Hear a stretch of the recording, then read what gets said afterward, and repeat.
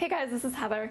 We're gonna make a lentil chili today because it's winter and what better time to have a delicious bowl of warming chili. This is the kind of meal that even non-vegetarians will love, even though we are using lentils in this one which boost the protein and folate and iron content of your chili.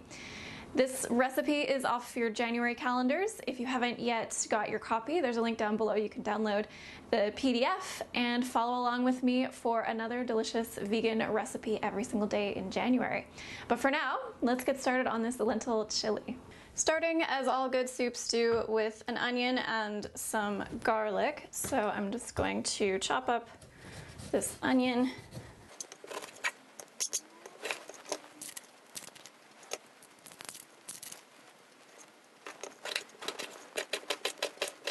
I'm gonna make my chili today in my pressure cooker because I've had a lot of requests to show you how to do that. It essentially comes down to the same basic steps, no matter whether you're just doing it on the stove, whether you're using a pressure cooker like mine that has a browning feature, or whether you're using some other kind of pressure cooker that doesn't. Essentially, step one, you wanna brown your onions and garlic. Step two, add the lentils and tomatoes, bring it to a boil, and then let it simmer until the lentils are cooked. And it's basically just the amount of time that that takes based on what equipment you're using. So a pressure cooker is gonna be faster than a pot on the stove.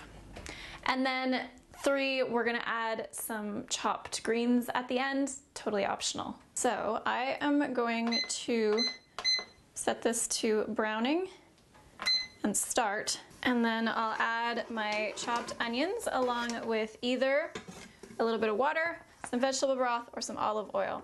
And if you're using a pan, you would simply do the same thing. You'd heat the pan to medium high and brown your onions and garlic. And my garlic, I'm gonna put through a press because I said a couple weeks ago that was my goal this year was to get a garlic press. And lo and behold, I got one. I like to um, take the skin out from inside the press and just put it in. So that's two cloves of garlic. You can use more if you like, you can use less if you don't like. So a little bit of water in there for me and just toss them around. Don't add salt yet because we're using dry lentils and the salt interferes with their cooking process. We want to just saute these with the oil or water. Or red wine is lovely as well if you want to go that route. Okay, these are looking nicely cooked, so we're going to add some canned tomatoes. You can use fresh if you want, but you'd need to add some tomato juice or some extra water. We're gonna add our dry lentils and water or vegetable broth. Stir it up a little bit to get everything nicely combined. And then if you're doing this on a stove, you would just put the lid on, turn the heat, well the heat's already up high, so you just leave it until it starts boiling and then turn it down to simmer for 30 to 45 minutes or until the lentils are cooked. Or if you're transferring or already have it in a pressure cooker, you just put the lid on.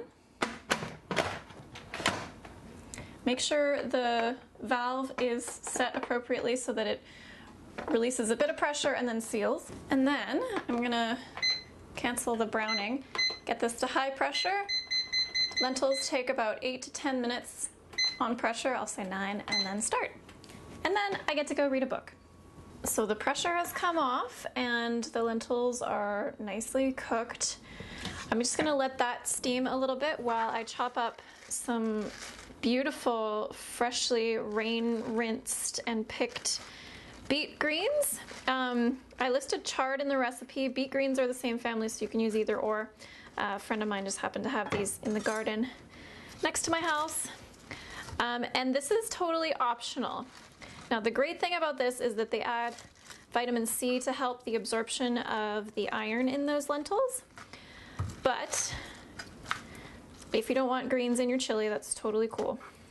So I'm just gonna toss those in there and stir them through to wilt along with a bit of sea salt since we didn't put any in earlier.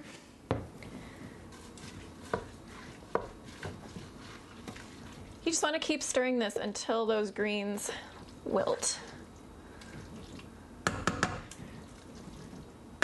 You could also put the lid back on for a couple minutes and just let it steam.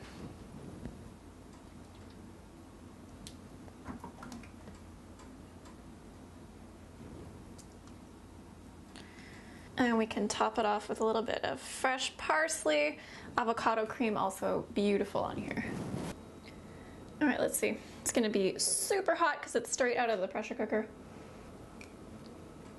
Mmm. I love chili.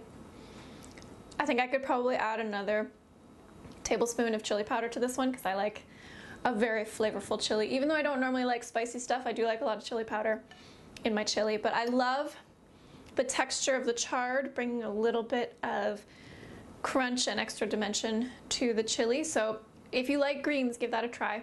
If you want to join me for the rest of January with one delicious vegan recipe every day, you can grab your calendar down below. Next week is actually cleanse week for meal plan members, so if you're game for that, there's more details below as well. Thank you so much for watching, guys. Have a wonderful, healthy day, and we'll talk soon. Bye.